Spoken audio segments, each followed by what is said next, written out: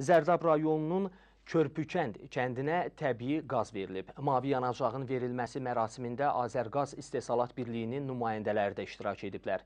Bildirilib ki, 253 abonenti olan Körpükənd kəndinin qazlaşdırılması bir pilləli sistem əsasında işlənib.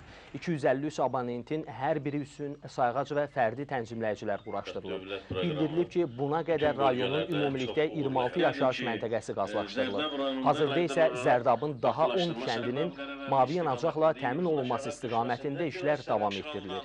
İlin sonuna dək rayonun bütün yaşayış məntəqələrinin qazlaşdırılması nəzərdə tutulur.